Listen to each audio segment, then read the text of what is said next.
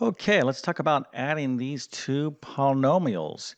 So, um, you know, this is a pretty basic algebra that we're talking about here, uh, but it's only basic for those of you who've actually taken algebra and, and, you know, mastered it and learned it and everything else. And some of you might be watching this video as a quick review, but others of you might be just learning this for the first time. So it's not so basic, right? You know, you're learning this, anything you learn for the first time, you know, uh, there's new concepts involved. So whether you're reviewing this or learning uh, about adding polynomials for the first time, hopefully this video is going to emphasize some really important uh, points. So we're going to talk about a few things here in this video um, uh, that are relevant to adding polynomials and we're going to give a little definition about what a polynomial is because not everything in math is a polynomial. Okay, so hopefully you'll stick around for a few minutes and master the concept of adding polynomials. But before we get going, let me go ahead and first uh, introduce myself. My name is John. I'm the founder of TabletClass Math. I'm also a middle and high school math teacher. And over several years, I've constructed what I like to believe is one of the uh, strongest math help programs out there. I'm going to leave a link to my math help program in the description of this video, but it consists of several online full complete courses, complete full math instruction, and I literally solve thousands of videos, video-based solutions. There's all kinds of good stuff, uh, um, ancillary things that are part of my programs, uh, notes, quizzes, etc., etc. So if you uh, need to take a full math course or you need uh, help with your current course, you might want to check out that. Again, you can find the link to that in the description of this video. Now, if you're new to my channel, okay, I just have to tell you as a math teacher of several years, the number one indicator that I look for, okay, when I'm talking to a, a math student, right, I want to size up very quickly, hey, uh, is this student going to be successful or not? If I look at your notes, I can tell almost 90% confidence uh, whether you're going to be doing well or not. Okay, it's just a trend that I've seen over the years. Those students that have the best math notes generally have the best math grades, and the reverse is true. Those students who have like scribbly, scratchy, or no math notes are not, 90% of the time, don't do well. You have to take uh, notes, okay? It's one of the top skills that you need, top academic skills you need in mathematics, okay? I actually have multiple videos on note taking in my uh, channel. But um, if your notes are less than desirable at this point, you know, hey, now's a good time to start getting better at note taking. Okay. Um, good way to uh, take notes is to model what your teacher's doing. But in the meantime, if you're in the middle of your class and you don't have good notes, you need good notes to study from.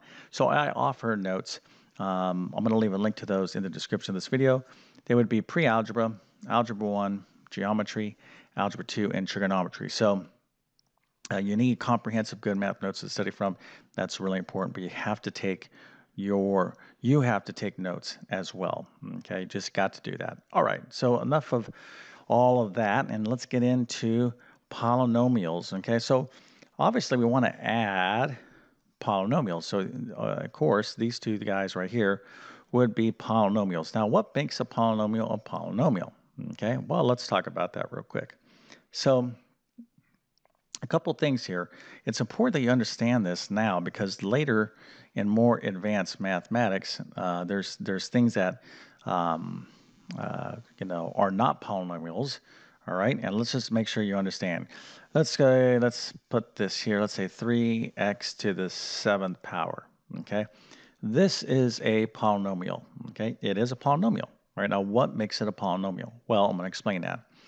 So typically, okay, a polynomial will have a variable like so, like an x or a y. It can have two things like xz, all right, like a 4xz. So it's not just limited to one variable. It can have multiple little variables, okay? And the number, all right, so here we got a variable, variable or variables, and then we have some sort of number in front of that variable, okay? Now that number could be uh, it could be a whole number like three. It could be a decimal. It could be like negative 0.06. Okay, so as long as it's what we call like a real number.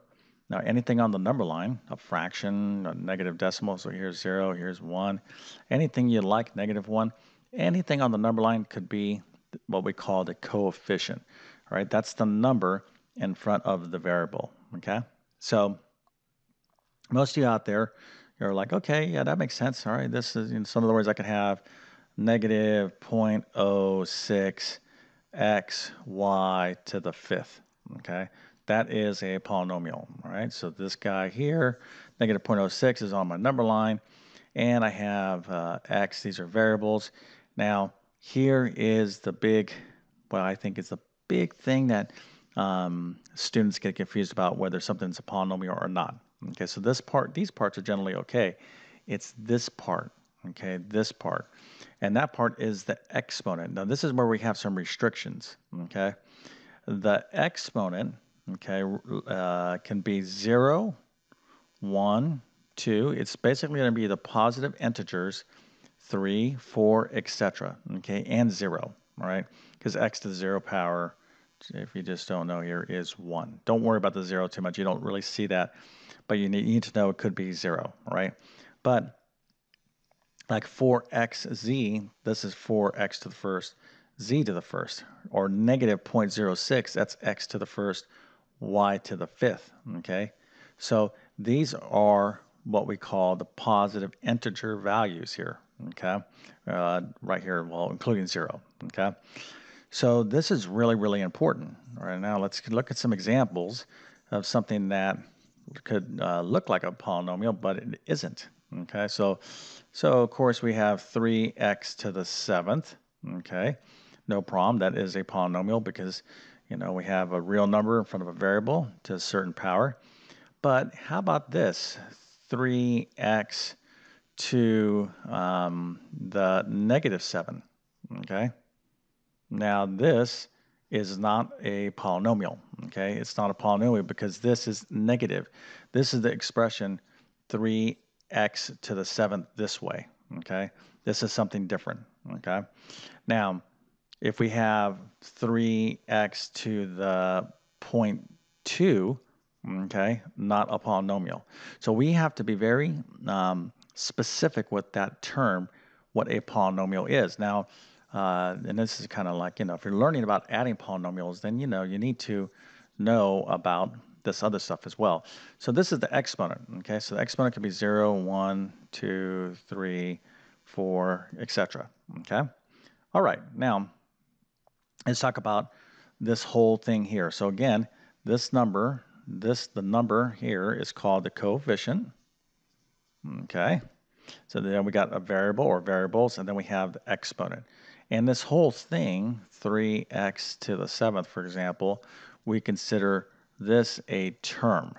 Okay, so this is a one-term polynomial. One-term polynomial. We actually have a special name for it called a mon monomial. Monomial. Okay. Now we can take and make all kinds of bigger polynomials by just adding a bunch of terms. So I got a one-term monomial. Let's add another one to it. Let's say 3x to the seventh plus, I don't know, 2x to the fifth. Okay, so this is a term and this is a term. I add them together or subtract them together. Guess what?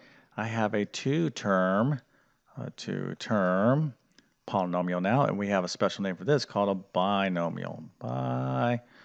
Binomial. And what happens if I have a three-term polynomial?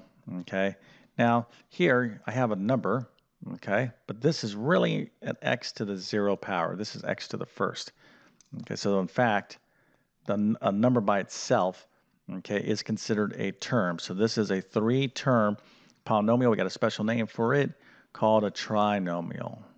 Okay, so all these different polynomials. Matter of fact, if I add another term to a trinomial and have like a five or six, seven, eight term polynomial, we just call those polynomials because you got to understand the basic building blocks of, of uh, polynomials. One, you got to understand what they are, okay?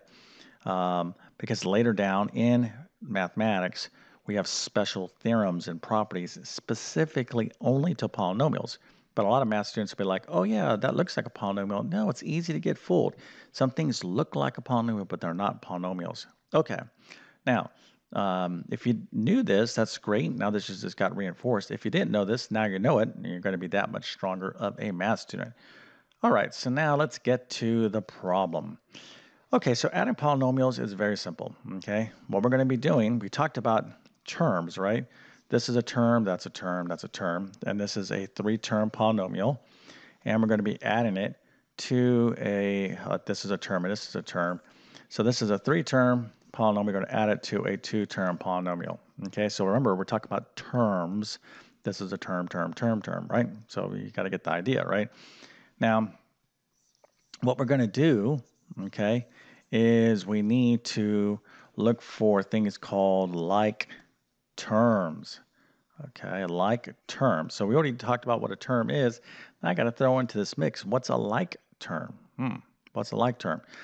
Well, a like term is a, a terms. Okay, uh, obviously we're talking about polynomials that have the exact exact variable uh, variables and powers. So, for example, uh, if I have 4xy, okay, and I have a 6xy, these are like terms because these parts are exactly the same. I mean, I mean, they got to be 100% exactly the same. Same variables, same powers. But let's just kind of mess with this for a second. What if I put a little 2 there? Okay. Now, are these like terms? No, they're not. Okay, because I have an xy squared. This is xy. So I'm like, oh, they're close, but close doesn't count it. Okay, as soon as I make this a squared, now they become like. Okay, so you can see if I made this a squared here and a squared there, doesn't make a difference. These guys have to be exactly, precisely 100% identical. Okay, now if those are identical, you got terms with identical variables and powers uh, then those would be considered like terms. Okay, so the whole deal, okay, when you're adding polynomials, is to identify uh, like terms. Okay, so let's go ahead and start. We'll start with this first term right here, 3yx, uh, 3, 3y squared uh, times x. Okay, I'm looking for any of the terms that might have this part to it. Okay, so I'm just scanning over here. That's an x and a y. Although this has x and y, this has x and y. That's not exactly alike. I'm like, oh, hey, I got one right here. Look at that. y squared x is exactly like this one. So these are like terms. So meaning that I can add these up. All right. Now, how do I add these up? I just add the coefficients. All right. I got 3 y squared x here, and I got 2 y squared x. So guess what? I actually have 5 y squared x. Okay? It's as simple as that. Okay, but we can't forget about the rest of this polynomial here. That's minus 8xy. All right, and we're going to be adding it to this guy over here, 10xy minus y. Now, when you get better at this, you'll be able to just take one line, one step, and you'll find the like terms and kind of combine them all up. This is what, we're, what we talk about combining like terms. I'm just kind of breaking this out a little bit, uh, you know, uh, in a few other steps so we can kind of practice this. So let's, uh, we already dealt with um, the y squared x's. Let's talk about the xy's. Let's see if there's any more of those. So I got xy and I'm scanning. Oh, I got xy over here. So because we're talking about addition, for addition of polynomials, when you, we have subtraction problems, it's a little bit different. But addition of polynomials, you can kind of just drop the brackets here, the grouping symbols, because it's just like adding numbers. Order doesn't make a difference. 1 plus 7 plus 3 is the same thing as 7 plus 3 plus 1. So no need to uh, keep the grouping symbols, the parentheses in place. When we're talking about subtracting polynomials, that's a different deal. Okay, so just for addition, focus on adding polynomials. So here, these are like terms, so I can add the negative 8 and the 10.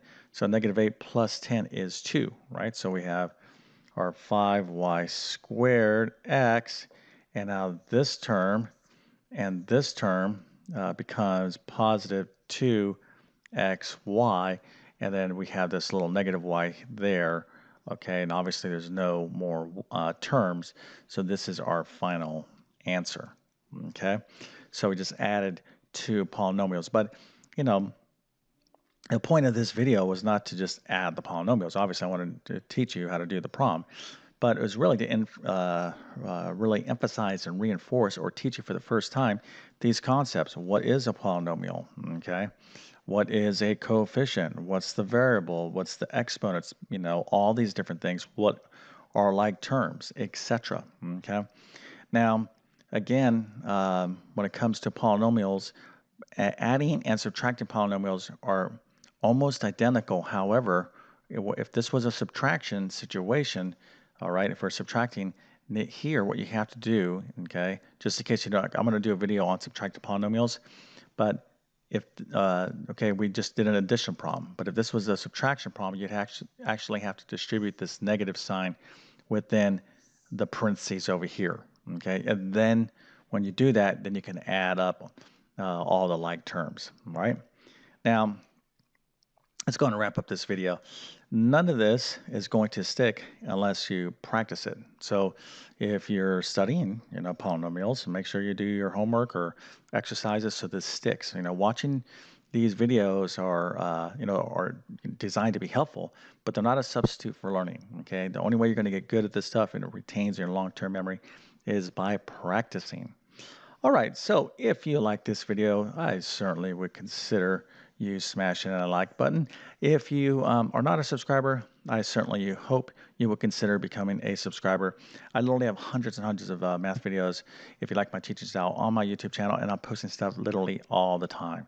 Okay, new stuff from middle school math to all the way up to calculus. Okay, so wherever you're at, I'm uh, pretty sure I might be able to help you out in your mathematics adventures.